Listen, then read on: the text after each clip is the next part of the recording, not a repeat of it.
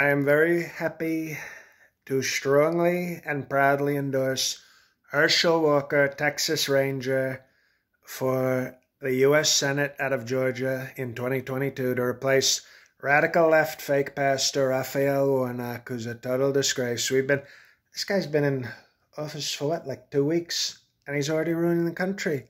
Two weeks. It's so sad to see what's happening to our country, but I know that Herschel Walker has the strength and the talent to save us, okay? First of all, he's always been very respectful of me. He's always called me sir. And this guy, I mean, he's almost as strong as me. You should see this guy. That's we need a little bit more of that in the Senate.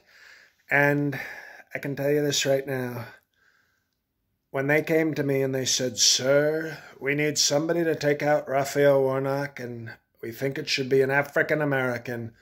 And I said, Well, nobody's ever been better than Herschel Walker. I mean, the guy won a Heisman Trophy, was a great pro football player, and, you know, his position was running back. Okay, like literally, that was the, the title I always said. So when they came to me and said they need a black to run, I said, I think I've got the perfect running black, Herschel Walker, my great friend. And uh, I know him very well. I never believed the accusations when they said that he killed his wife. So I always stood very strongly by him. Okay, I thought he was great. You know, when he was in the Naked Gun, I thought, I didn't know Herschel was so funny.